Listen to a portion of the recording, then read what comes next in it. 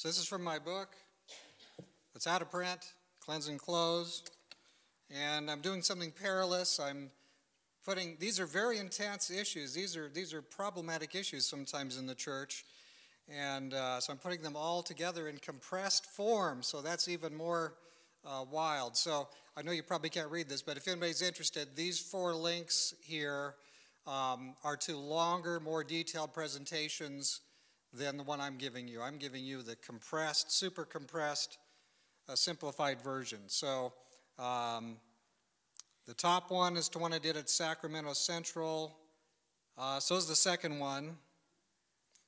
Actually, I've done all these at Sacramento Central. Um, the fourth one, there, somebody actually wrote a book against these beliefs, some of the seminary professors uh, a few years ago. And uh, Pastor Buttery asked me to come to Sacramento Central and uh, tell the corrected side of the story. So I did. That's the third one. The fourth one there, New Books, Old Error. So anyway, if you want those, I'll have that link at, at the end. But let's get into our uh, presentation today. So I recognize this is compressed, and you might say, boy, that's, that's pretty intense things. But we're going to deal with four more of these today. First of all, Christ's character reproduced in us. And it'll help me if I put my own notes out. All righty. So let's talk about justification. Justification is God's way of simultaneously counting men right and making them right. In declaring a man just, God writes no fiction. The disciple experiences the process of sanctification, and the character of Christ is perfectly reproduced in us. Both justification and sanctification are the work of God and are necessary and causative for salvation. Okay? When a man comes to Christ and accepts him as personal Savior, he's counted as if he had never sinned. Isn't that true? Accepting means receiving the work of God, permitting his power to work recreation. He makes planets, he makes galaxies, he makes your heart. There are conditions to our receiving justification, sanctification, and the righteousness of Christ. While good works will not save even one soul, it is impossible for even one soul to be saved without a faith that works. Just ask James chapter 2. God transforms us according to a principle. I think you know the principle from Matthew chapter 7. Ask. In order to receive, we have to ask. In order to find, we need to seek and knock. To knock, to have the door open to us, we, we we knock, and then the door opens. So when God justifies a man, declaring him right, he also makes that man right. And let me let's take a Bible example, and to invite you to turn over to Luke chapter 18. I think you're familiar with this, Luke chapter 18, but let's look at it uh, nonetheless. Luke 18, starting at verse 9. I want you to pay close attention to the uh, things that the parable says about justification. So we're at Luke 18, starting at verse 9. Also, he spoke this parable to some who trusted in themselves that they were righteous and despised others. So here's the parable Two men went up to the temple to pray, one a Pharisee and the other a tax collector. The Pharisee stood and prayed thus with himself God, I thank you that I am not like other men, extortioners, unjust, adulterers, or even like this tax collector. I fast twice a week, I give tithes of all that I possess. And the tax collector, standing afar off, would not so much as raise his eyes to heaven, but beat his breast, saying, God, be merciful to me, a sinner. So there the two of them are, worshiping. The one's up near the front and he thinks he's Mr. Righteousness. So the one, this guy's just in the back, just in the back door. He's just in the very back and he says, Lord, be merciful to me. Now listen to the, the very next thing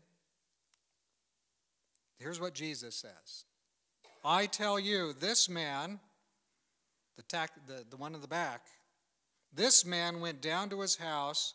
What, what happened to him? Justified rather than the other. For everyone who exalts himself will be humbled, and he who humbles himself will be exalted. So his surrender, here's the, the this fellow in the back, his surrender is accepted where he is. God changes him. Justification imputes or counts a man right. At the same time, justification also imparts righteousness rightness to the man, and that's why Jesus said, This man went down to his house justified. He went to church, he came back justified. The human agent simply does what? A thousand jumping jacks? Step, uh, kissing each step as you go up Pilate's staircase? No, none of those things. The human agent simply surrenders. That's all he does. He surrenders, agreeing, I have made a miserable failure on my own. Please take me where I am and as fast as I can go, the way I need to go. That's, your, that's the prayer. Is that too complicated? It's not. Here's a blade of grass. The new blade of grass is a half inch tall, but it's perfect for a new blade of grass. Another is larger, it has been growing longer, and it's perfect for its degree of maturity. And another blade of grass is full grown, its roots are deep, and it stretches perfect and green in the breeze. And I say to you that each blade of grass is perfect for its stage of development. And I believe that's one of the principles of the way things work. Then we have the thief on the cross, Luke 23. He wasn't converted for very long, was he? But for his stage of Christian growth, that thief on the cross was perfect. He, we will be praying, we will be studying the inspired writings, we will be in attendance at the meetings of the church, we will pursue pursuing our devotional life, we will walk into the light of truth as fast as light opens up. Entire conformity to the will of our Heavenly Father is what we want as He unfolds unfolds things to us. Entire conformity to His will. That's what sanctification is. The universe is watching and waiting for our sanctification. Romans 8 talks a lot about that. The soul creation groans until the, the full birth of the sons and daughters of God. Justification and sanctification are part of one gospel. God can be just and justify the sinner through the merits of Christ, but no person can cover himself with the garments of Christ's righteousness while practicing known sins or neglecting known duties. Our heart must be surrendered entirely before justification can take place. And for the continued experience of justification, we keep walking with Jesus. Faith works purifying the soul. That's what Galatians 5 6 says. God's word declares in Daniel 12, verse 10 Many shall be purified and made white and tried. Yes, that's what the Bible says. To say that something is caused of salvation for salvation means that without it, salvation isn't caused. Now, it may be fashionable today to say that we're saved by justification alone, but sanctification, being made holy, is necessary. Without holiness, Hebrews 12:14 says, without holiness, we cannot see God and meet him in peace. That's strange. I don't hear that verse repeated too often by most people. But the Bible gives us that verse. Matthew 5, verse 8 says, says we need that pure hearts are the ones that are going to see God. Jesus said that. Titus 3, verse 5 says we need an inward washing. Revelation 14 says that guileless hearts experience the end time crisis, crises remaining blameless before God's throne. Think we're nearer to the end time crisis than we have been before? Well, yes, we are. Disobedience can be forgiven. Pardon is a gift, but obedience, holiness, being like Jesus, that is developed. We will not finally be asked, What did you believe? But the judgment will be centered on what did you do? Read Matthew 25. That's what the question is. What we have done will testify to what we have become. So be ready for that judgment. You know what? The devil could give a perfect rendition of the beliefs, couldn't he? God could ask him, "Do you know uh, what do you what is is this a true statement about the Sabbath? Is this a true statement about the second coming? Is this a true statement about baptism?" The devil could answer all those questions more better than you or I or any seminary professor. But it's not going to be about what the devil knows is true or believes to be true. It's going to be about what did we do for Jesus? What do we do for our fellow man? Salvation means change, actual change, and actual change means learning to echo Jesus even while our, our own disordered humanity and defective characters war in us in rebellion against goodness. You know what it says in 1 John 2, verses 5 and 6? Whoso keepeth his word, in him verily, verity is the love of God perfected. Whereby know we that we are in him? He that saith he abideth in him ought himself also to walk, even as he walked. Who is the he?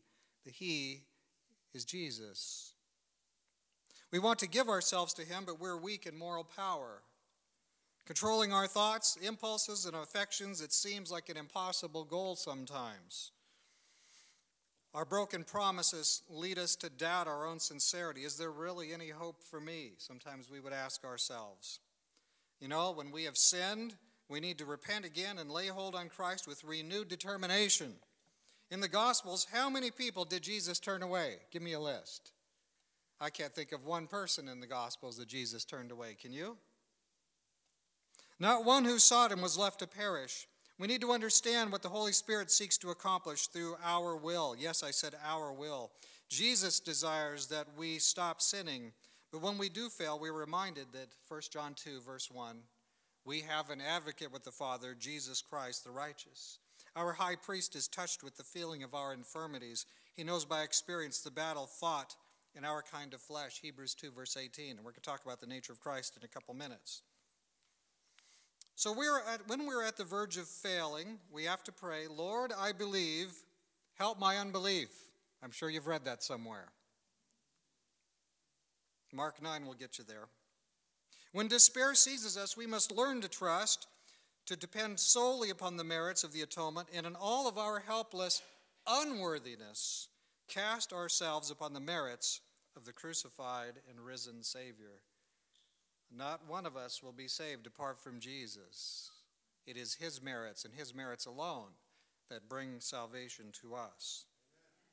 Let us make each occasion of failure the first step in climbing the mount of blessing again. You know, when we look back someday, what looked like a string of failures is going to be seen to be a succession of victories. I remember when I was in grade school, we had the Presidential Physical Fitness Award. I don't know if they still give that.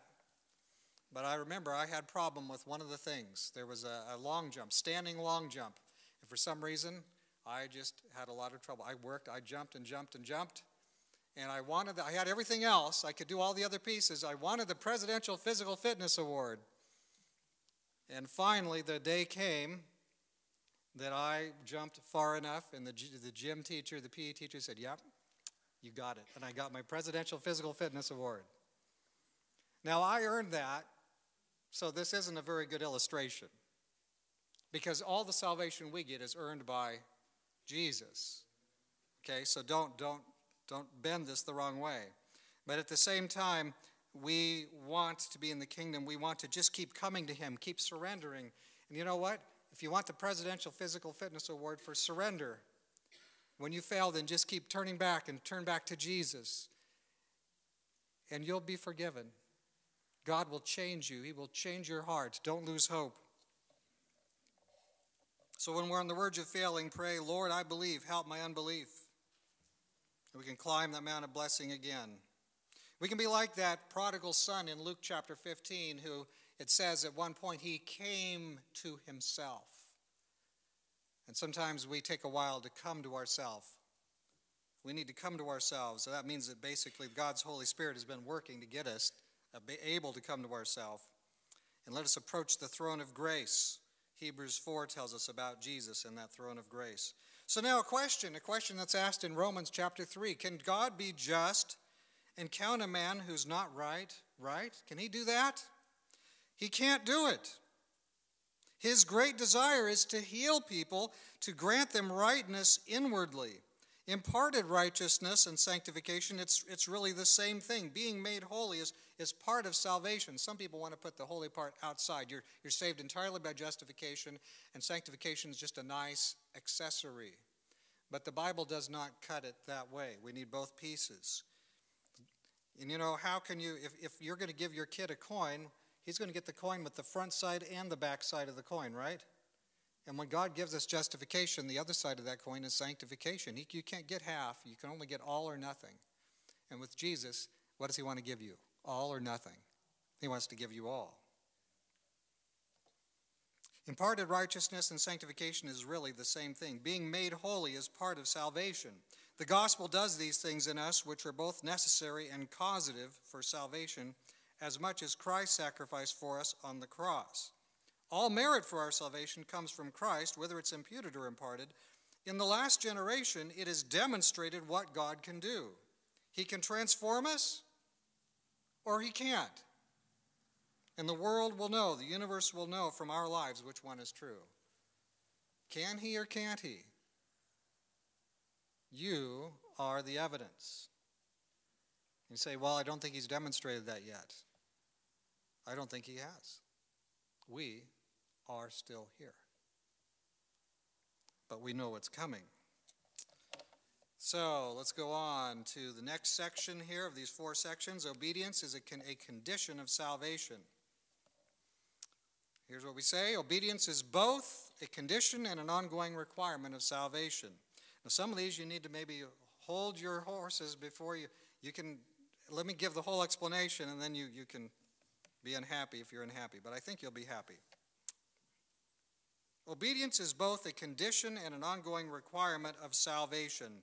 Many have been subtly taught that we're saved apart from obedience and that obedience is only a fruitage after you've been saved. Many people have been taught that. People want the benefits that God offers, but without the conditions.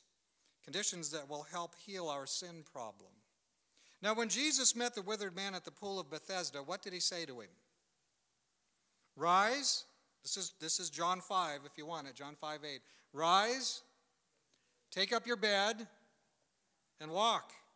Now, this man might have argued with Jesus. He might have said, Well, if I were to do that, that would be legalistic. But he believed Christ's word. He believed that he was made whole. He made the effort immediately. He willed to walk, and he did walk. He acted on the word of Christ, and God gave the power. He was made whole. Faith is more than mental assent, it's more than just thinking it's true. Faith includes trust and willingness to obey the person one trusts.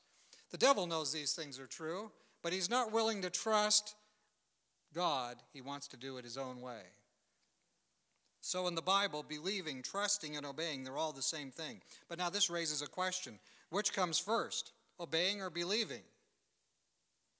Now that's kind of a problem, isn't it? Which one comes first? Let me tell you why it's a problem. Acts 5:32 says the Holy Spirit is given to those who obey him. So I guess we have to have the Holy Spirit first, right? But John 15 says without Jesus you can't do anything, right? So we've got a problem going on there, see? I have to have the Holy Spirit to obey, but I cannot obey without Jesus. Without Jesus, I cannot have the Holy Spirit. Circular problem. So let's consider a couple possibilities. What if, what if the solution is this? God grants the gift of salvation first, and obedience only comes afterward as the fruit of being saved. What if that's the case? Now, obedience is a fruit of salvation. That's true. Obedience is a fruit of salvation. But I say to you that it is not only a fruit. Obedience is part of the faith that says yes to the gospel. Obedience is present inescapably at the beginning of the Christian experience. 2 Thessalonians 1, verse 8, we must obey the gospel. And yet, Galatians 5 6, we have to have a faith that works. We need both pieces. Jesus called the rich young ruler. What did he tell the rich young ruler? He said, Okay, I'll tell you what. Go, sell everything you have, give the proceeds to the poor, and he said, Then you come and follow me. Matthew 19 for that story. He saw the man was committed more to his own values than to the kingdom. And you know what? This rich young ruler could not serve two masters. He has to obey at the first moment of discipleship, even as at each following step, or he wouldn't be a disciple of Christ. So, obedience is not only something that follows, obedience is present in your first turning to Jesus. If you joined this church through an evangelistic meeting, and the, plea, the appeal came from the, from the preacher to give your heart to Jesus, and you may not be, you're not baptized yet, but when you chose to accept Jesus, that was a step of obedience. Was that somehow not a step of obedience? No, that was a step of obedience. So I say at the beginning and at each step of the way, we need to obey. But what if we say, this, here's another option here. Let's say we don't like that. that obedience is, is uh, we are saved, and then obedience is only a fruit. What if we say, instead, that we have to obey in our own power first, and that only after that we qualify for salvation? You know, we meet the condition, and then we're saved. What if at first we must obey, and then after that we've obeyed, we receive the Holy Spirit? You know what? That would be a legal religion. You'd be saved by doing the legal thing. And then, in some measure, one would initially obey without Jesus, right? And so then, by independent obedience, somebody has, in some measure, earned salvation. Well, we know that's not right. So, neither one of these is, is correct. You're saved, but obedience is something separate? No, that's not correct. You obey without the Holy Spirit? How do you do that? Can't do that. I'm going to suggest to you a third possibility. A third possibility. In the very same moment that we sincerely repent and ask for strength to obey, God sends us power to obey. In the very same moment. Now, but you say, well, wait a minute, doesn't God have to, isn't there like a, a 40 millisecond delay? Well, there might be a 40 millisecond delay by, by technology. A radio wave maybe takes some period, some little tiny period of time between a signal and then getting to the other end, right? Is God constrained by those issues? Does God have to wait? And then is there like a little second where God's, God's brain goes, oh, he's, he's in my team now. Yes, I'll give him strength. There is not. So the third possibility is that in the very same moment we repent and ask for strength to obey, God gives us power to obey. At the same time we respond in faith, God speaks and gives us power to be obedient. Power is given to act in obedience. In our very first plea for help, God grants help. God and man speak at the same time. We call it, in singing, we call it singing in, in what? harmony at the same, you're, it, it, you're matching at the same time. Obeying is neither first nor last. All of God's biddings are enablings. We're not asked to do righteousness apart from his gift of righteousness. In the very moment that God calls for our, our obedience, he enables us. In that same moment, righteousness is imputed and it is imparted because God doesn't have to wait 40 milliseconds to give you the help. He doesn't save us by law, neither will he save us in disobedience to law. Neither faith nor obedience saves.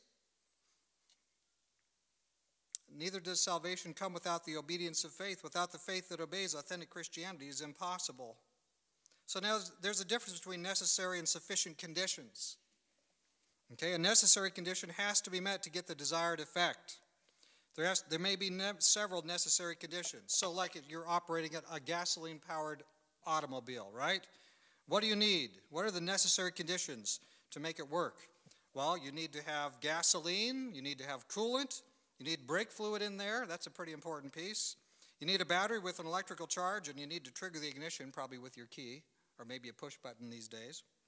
To start the vehicle and to continue its operation, several things are necessary. These are necessary conditions. So that's necessary conditions. Now, there are also sufficient conditions. A sufficient condition is this way it automatically leads to the desired effect. In itself, it accomplishes everything that's needed, it is sufficient. So, I must be obedient to be saved, but my obedience in itself is not a sufficient condition. It's not sufficient to save me. How am I saved? We all know the answer, don't we? Jesus died on the cross he made a sacrifice of sufficient value to save me, but I must actively embrace it. If you reject Jesus, will you be saved? Tell me the answer. So there is a part, our part, that we need to agree, surrender, cooperate. But do we get any credit for saying yes to Him? What's the answer? You know the answer is no. We don't get any credit for saying yes to Him. All the credit is from Jesus. The question of salvation is not really just about the sufficiency of the sacrifice. We know that Jesus' sacrifice is sufficient, but it's also about my willingness to embrace it. God designed the plan of salvation with two parts. Jesus lived and died in our place. That's the objective part, it's outside of us. But there is a subjective element within us. We must choose to accept all that is meant by his life and death. Jesus' merit is valuable enough to save, absolutely. And yet, my obedience is also necessary. It's not sufficient to save me. In fact, it won't even get me 1% of the way there. It is a non meritorious condition. It is a necessary but insufficient condition. God makes choices and I make choices. The role of human free will is as important in the end of time as it was in the Garden of Eden. And we know that things went troublesome in the Garden of Eden. Christ's life is of sufficient value, on the one hand, to prove God's fairness in his dealing with sinners. On the other hand, Jesus shows the universe the final outcome of rebellion. What is the final outcome of rebellion? The Bible says that there is a problem. We call it the wages of sin. All those who make him their Lord and Redeemer will be saved from the God forsakenness that Jesus experienced.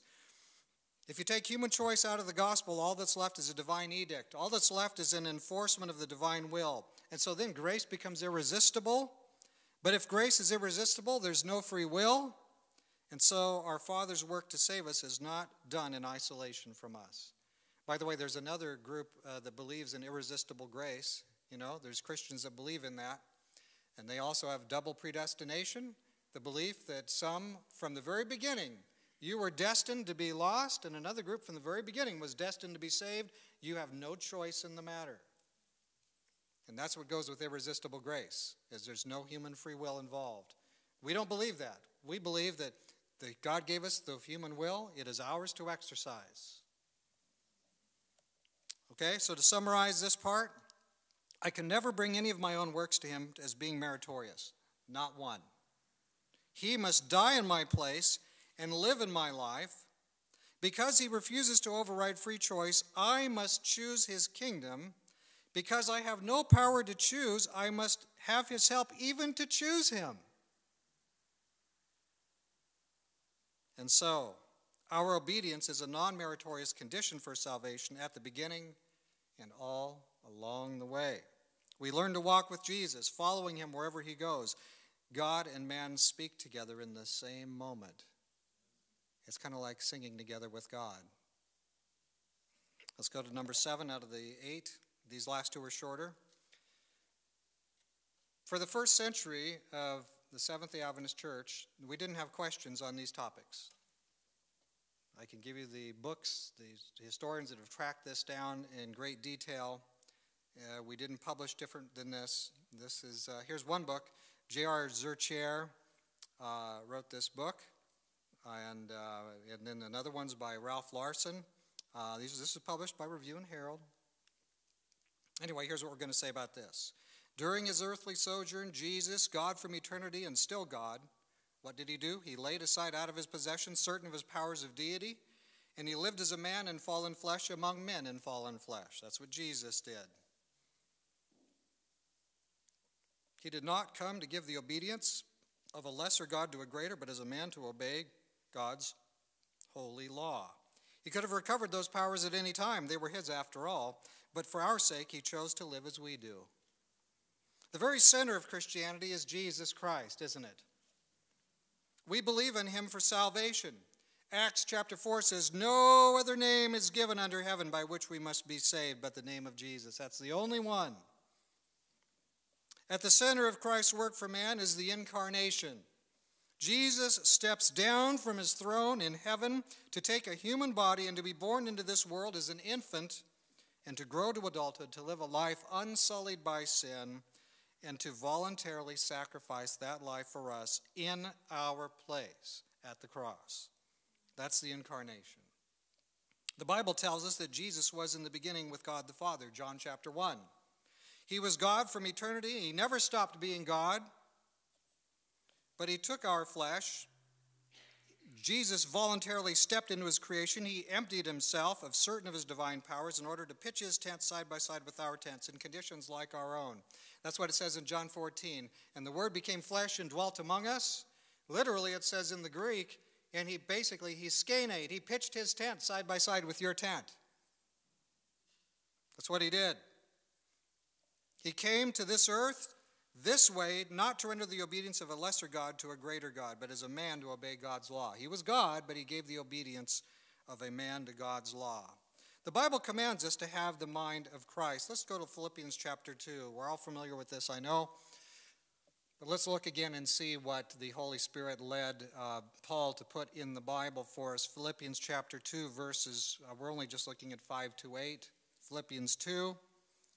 King James Version, let this mind be in you, which was also in Christ Jesus. By the way, a lot of people, if they think about that first verse, they're going to hate that first, that first line, won't they?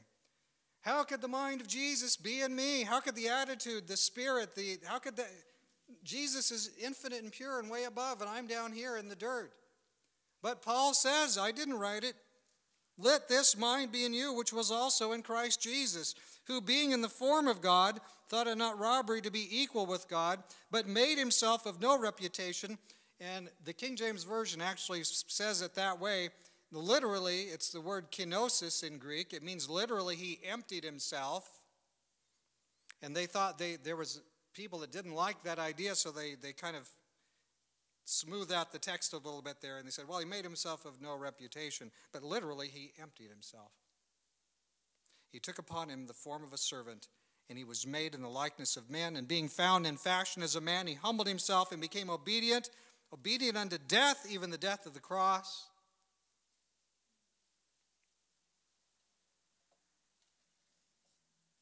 And so, what you have is Jesus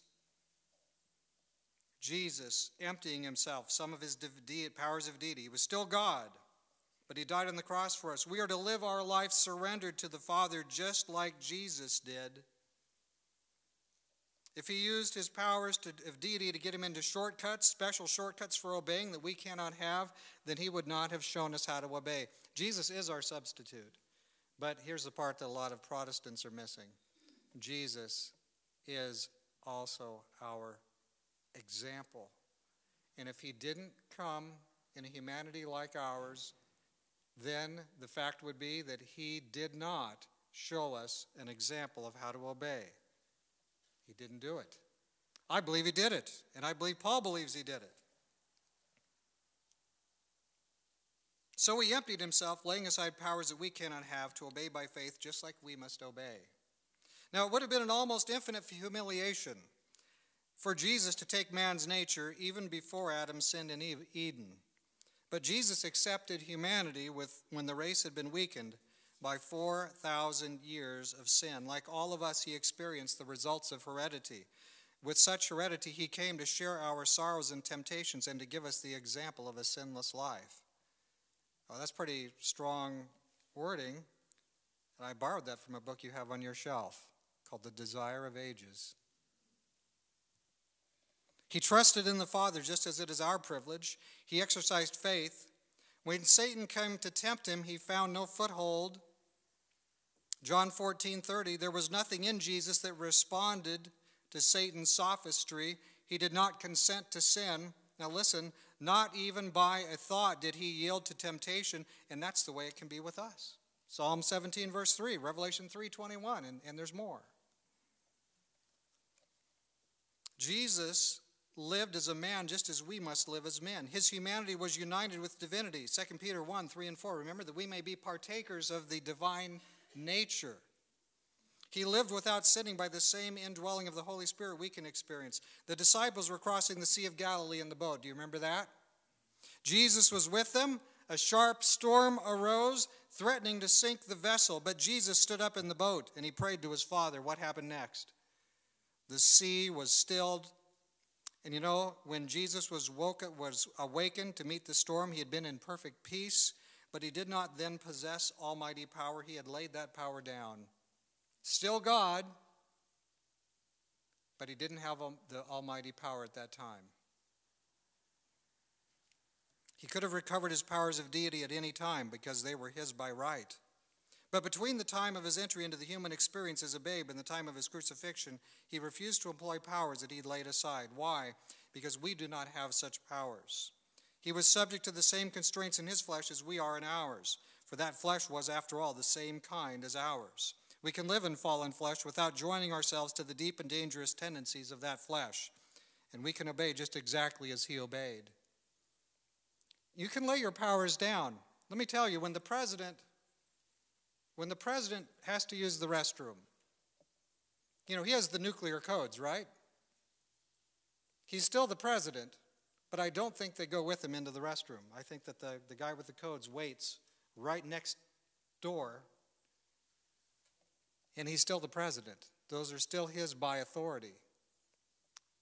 But he doesn't have them in that very moment. Jesus is within his rights to lay his powers aside and trust them to the Father.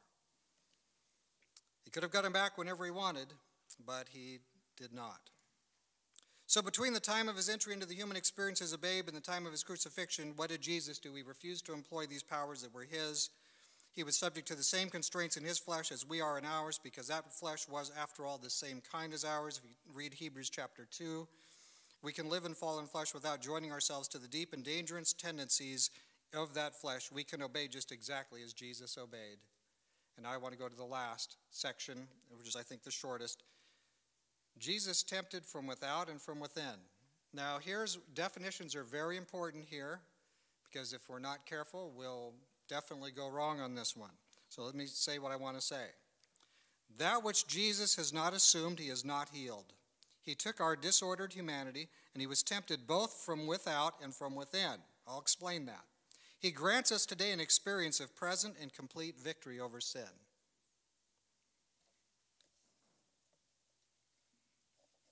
In the fourth century, this guy, Gregory of Nazianzus, he wrote the, he wrote something that was really quite profound. The occasion was this called, it's theologically, it's called the Apollinarian controversy. Pastor Apollinarius taught that Jesus had a human body, but a divine mind. So this wasn't unlike saying that Jesus was like us from the neck down, but he was not like me from the neck up. Gregory said this in, in response That which he, Jesus, that which he has not assumed, he has not healed. But that which is united with his Godhead is also saved. If only half Adam fell, then that which Christ assumes and saves may be half also. But if the whole of his nature fell, it must be united to the whole of the nature of him that was begotten, and so be saved as a whole. Unquote. So he said that if, if, if half of Adam fell, then we need a half Adam Savior. Did half of Adam fall? Uh, when I read Genesis, I believe that all of Adam fell, don't you? And so Jesus came to be a, a, ladder, a complete ladder to us. He's the ladder that comes down from heaven, from, from the highest place in heaven. The ladder comes all the way down to where you and I are. All the way down so that you can get on at that very bottom step. What if the ladder came and it just reached as high as that fan up there? We'd be in a world of hurt, wouldn't we? Because not one of us can jump that high. Even Shamus, I don't think, can jump that high. And so the ladder has to come all the way down. The humanity of Christ is often presented as being partly like Adam's and partly like ours. But since the fall affected man in every aspect, we must have Jesus, a Savior who defeats sin in the same flesh as our own. Matthew 8 17, remember it talked about Jesus took their iniquities so they could be healed? The humanity that he takes must be entirely affected by the fall, even as ours is, and the victory he wins over that disordered humanity must be just as complete. So we're talking about a complete victory. Jesus won a complete victory. So Jesus took our disordered humanity, not the nature of Adam before his fall, but after. While Jesus was sinless, Hebrews 7:26 very clear, Jesus was sinless.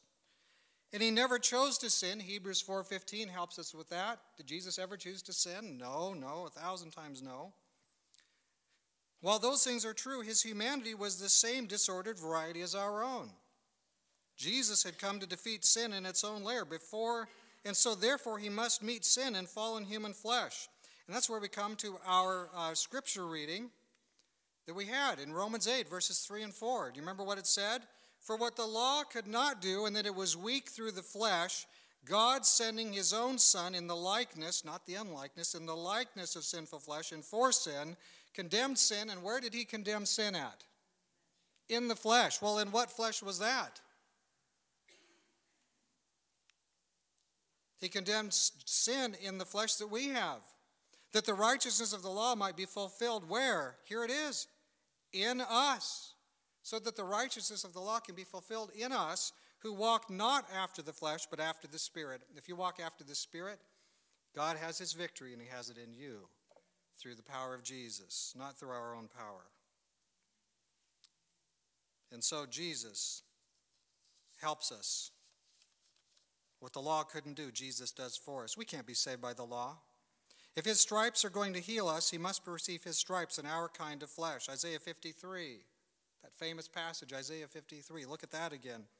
Jesus was a free agent. He was placed on probation at risk of failure, just like Adam was and like we are.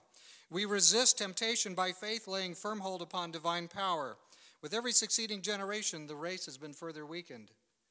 You know, Jesus overcame anyway. But each child is weaker than the previous generation. I think that's the case. Revelation 3:21 says that all who overcome will sit in him his throne with him. There are significant differences between Christ and us, don't misunderstand. So one of the charges people make is, "Oh, you're making Jesus just exactly like us." No, no absolutely not. Let me just give a couple of you know all these. Significant differences. He was God, we are not. I'd call that a significant difference, wouldn't you? As God, he had inherent rights to power as God. We do not. The value of his character is the character of the righteous God. Ours is not. We've all chosen to sin. He did not.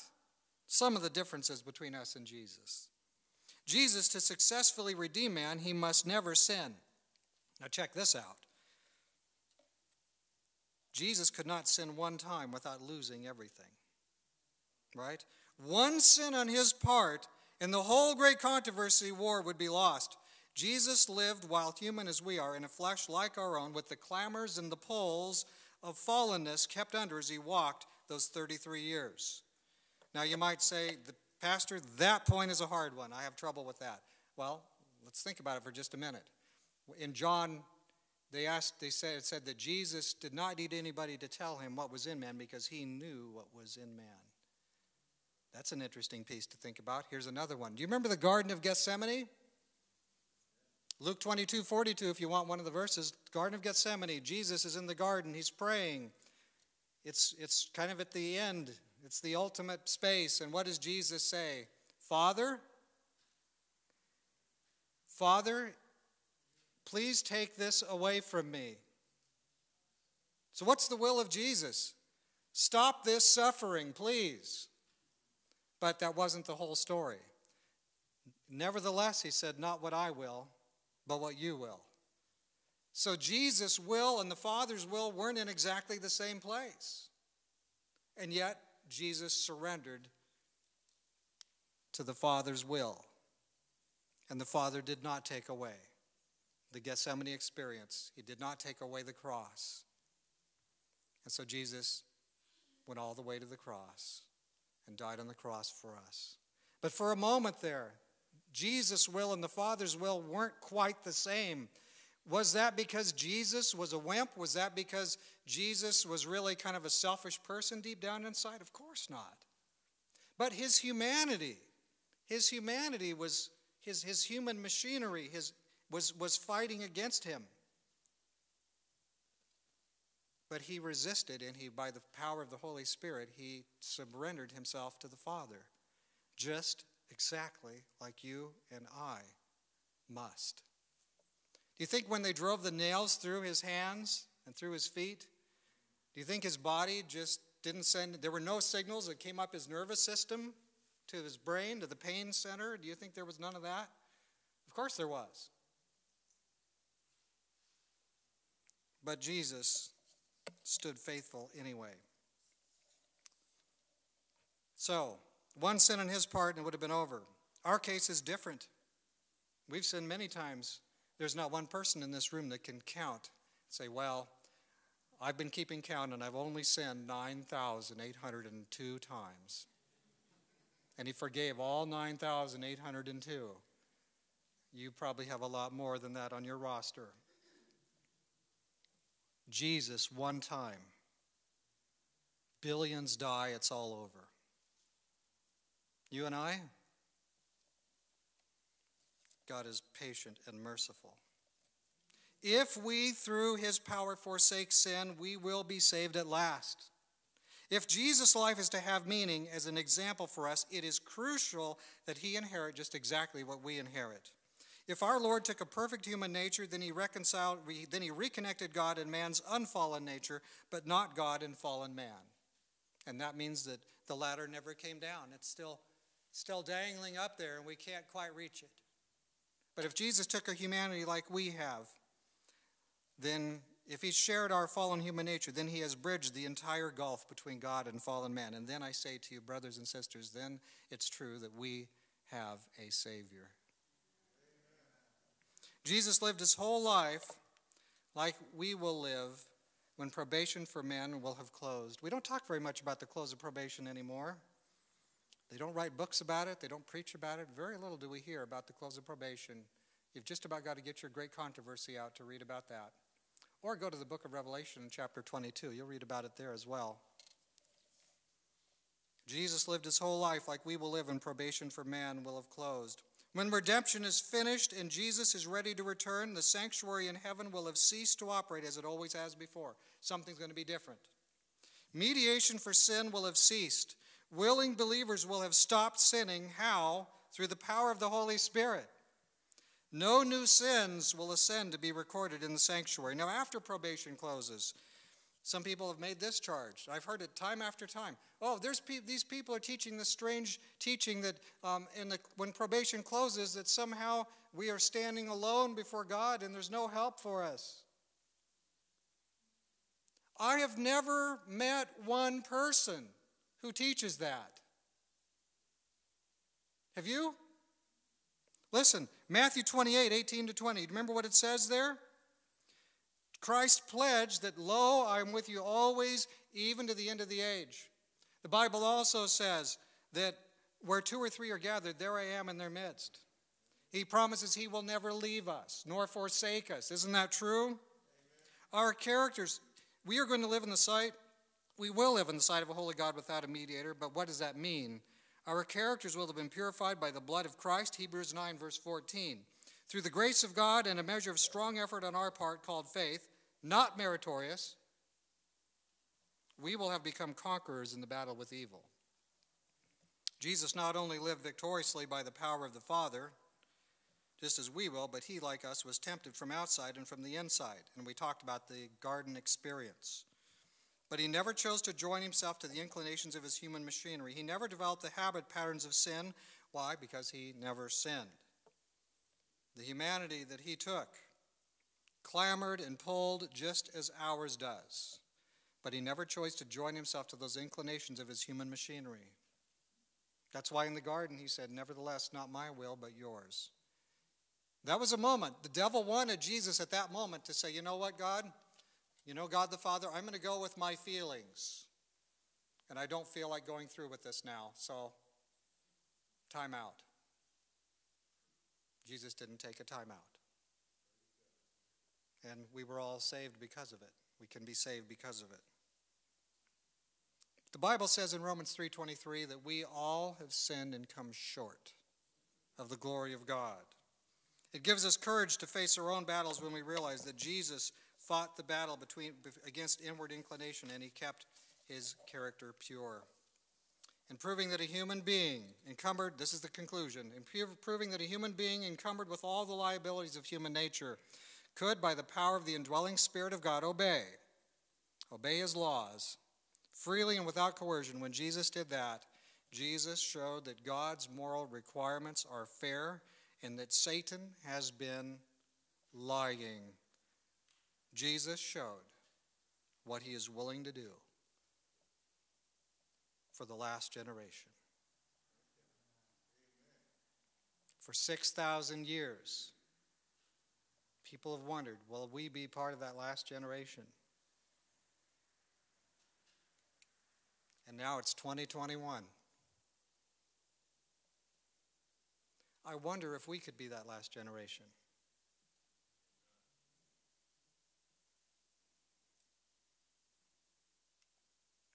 There's the links if you want them for the more detailed. This was just kind of a fast airplane ride, so I didn't prove it. I just told you about it.